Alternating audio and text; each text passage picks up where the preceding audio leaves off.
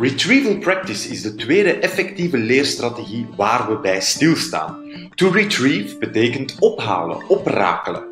Retrieval practice duidt dan ook op het fenomeen waarbij we leerlingen gaan trainen in het zich herinneren. We hebben het reeds gehad over de vergeetcurve van Ebbinghaus. Daarbij hebben we gezien dat wanneer je voor het eerst iets leert en het 100% beheerst, dat na 1 à 2 dagen het vergeten snel wordt ingezet. Retrieval practice komt er dan ook op neer om regelmatig zaken niet alleen in het geheugen te gaan steken, maar ook terug op te rakelen, zodanig dat ze langdurig en duurzaam verankerd geraken in het lange termijn geheugen. En laat dat de cruciale boodschap zijn bij retrieval practice. Lesgeven is niet alleen kennis in het geheugen van leerlingen steken, maar ook die kennis daar regelmatig genoeg terug uit opdiepen. En exact dat is wat we met retrieval practice bedoelen. Je kan retrieval practice toepassen aan het begin van de les. Daarbij gaat het natuurlijk om het activeren van de voorkennis van je leerlingen. Zo kan je hen bijvoorbeeld in een paar kernwoorden de essentie van de vorige les laten noteren. Je kan ook voor jezelf duidelijk afbakenen welke leerstof heel fris in het geheugen moet zitten van de leerlingen, vooraleer je erop verder kan bouwen en daarover een paar quizvragen stellen aan het begin van de les. Lekker interactief en een beetje competitie houdt de leerlingen soms ook wel sterk en fris. Bekend benieuwd bewaard is een derde mogelijkheid. Je laat de leerlingen drie kolommen trekken op een blad en je laat hen alvast de twee eerste kolommen aanvullen in een paar kernwoorden. Wat weet je al over dit thema van de les van vandaag en waar ben je benieuwd naar? Helemaal op het einde laat je hen de bewaard kolom invullen.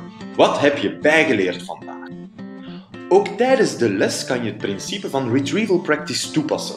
Stel dat je een uitleg hebt gegeven van 10 minuten à een kwartiertje, laat dan de leerlingen een 1 minuut test afleggen. Dat is een test waarbij ze 1 minuut krijgen om één cruciale vraag over de leerstof te beantwoorden. Of bijvoorbeeld, je geeft hen 1 minuut de tijd om al de essentiële zaken die ze hebben opgepikt van de afgelopen 10 minuten te noteren en te vergelijken met hun buur. Ook quizvragen tijdens de les zijn zeker en vast een goede toepassing van retrieval practice. Maar je kan ook zoomvragen geven. Schrijf 1 à 2 vragen op het bord die rechtstreeks betrekking hebben op de leerstof of de toepassing ervan en laat leerlingen per 2 1 minuutje zoomen daarover. Laat hen volop hun ideeën uitwisselen met elkaar. Je kan retrieval practice ook toepassen op het einde van de les, bijvoorbeeld aan de hand van exit tickets. Vlak voor het verlaten van het lokaal vullen de leerling zo'n ticket in. Daarop staat een vraag zoals: Wat heb je vandaag bijgeleerd? Vat de les samen in vijf woorden. Wat vond je het interessantst vandaag of het meest nuttig? Of zoek drie toepassingen van de leerstof die we vandaag hebben gezien. Retrieval practice kan ook uit nuttig huiswerk bestaan. Zo kan je bijvoorbeeld de leerlingen tijdens de les zelf niet laten invullen in hun invulboek, maar zelf notities laten maken en als huisopdracht meegeven dat ze aan de hand van hun notities en wat ze zich herinneren van de les hun invulboek aanvullen tegen de volgende les. Ook dat is retrieval practice.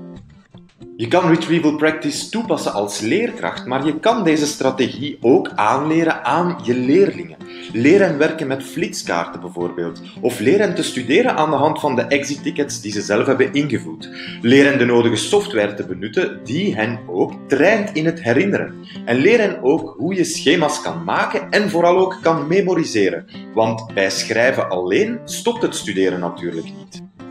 Kortom, retrieval practice betekent trainen in het herinneren. Er zijn heel wat mogelijkheden waarop jij als leerkracht deze strategie kan inzetten in de les. Maar het loont ook de moeite om actief te gaan benoemen wat je aan het doen bent in de les. Nu ben ik jullie aan het trainen in het herinneren, zodanig dat leerlingen deze strategieën ook kunnen gaan toepassen wanneer ze thuis zelfstandig de leerstof aan het verwerken zijn.